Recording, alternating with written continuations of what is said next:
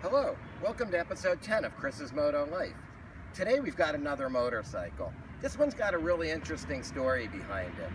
First and foremost, it's a 1983 Suzuki GS1100 ED. In 1983, this was the fastest motorcycle that was sold on the market. A claimed 108 horsepower, zero, uh, quarter mile times were in the low 11s, they're saying. I read somewhere where somebody said they broke the ES version into the 10s on the drag strip, which I don't know if this one would work would work that well. It had a top speed of 140 miles an hour, which is pretty impressive back then. You got to remember, this was before the days of uh, before the days of like you know the race replica bikes, as we call them today, sport bikes. This is the final iteration of the UJM, the uh, the Universal Japanese Motorcycle which was used. You could either throw some side bags on it, go touring. These bikes kind of were expected to do it all. This was the last of a generation. Once this generation passed, bikes started to get really specialized. We have adventure bikes now, we've got touring bikes, we've got sport bikes, we've got track. So we've got a lot going on. Um, so one of my fans. So this bike's got a neat story.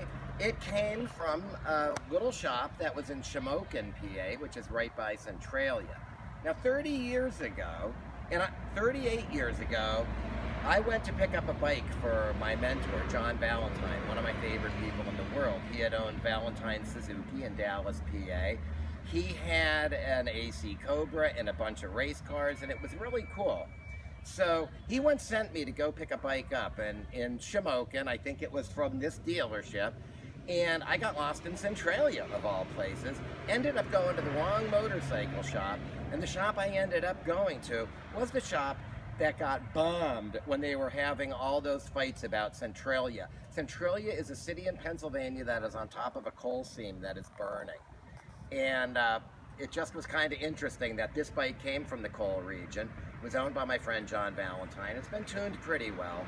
The only problem that we're having now, and let this be a cautionary tale to all of you, uh, I let the gas sit in this all winter, and we're going to try for my usual ride away.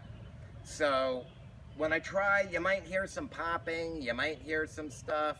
Oh, one other cool fact about this bike. When it was brand new, the retail on it was $4,300. So I went into the calculator online to see what was that worth today.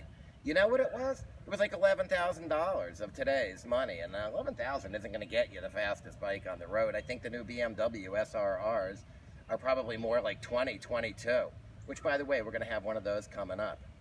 Well, what? I'm glad that you took a look at this bike. I think it's a pretty interesting bike for you all. It's 30 some years old. As always, I really want to thank you for tuning in to Chris's Moto Life, and I want you all to have a really awesome week. Now let's start this thing up and see if it doesn't pop through the back, pop and backfire.